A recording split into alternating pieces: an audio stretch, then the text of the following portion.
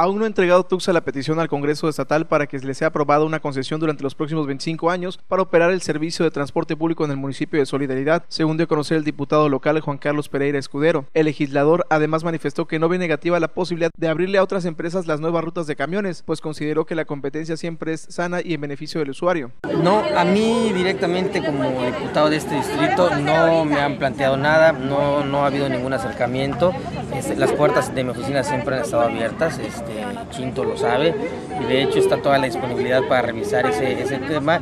y que si es necesario que se lleve al Congreso y se lleve un análisis y se, autorice, con mucho gusto lo vamos a hacer. Tenemos a, este, a, una, a un TUXA que ha venido creciendo, que se va a poner a la vanguardia del municipio, bueno, este, pues también merece que nosotros lo apoyemos, pero también es una realidad que el municipio crece muy rápido, que se necesitan nuevas rutas, que se necesitan nuevas inversiones. Y si Tuxa se ve rebasado por esto, bueno, yo creo que es sano también que se le dé oportunidad a alguien más. Pereira Escudero reconoció que Tuxa es una empresa con experiencia y capacidad para ofrecer el transporte de los ciudadanos en el municipio, pero señaló que es necesario que realice adaptaciones a las necesidades de los habitantes, como el caso de personas con discapacidad o modificaciones actuales de rutas existentes.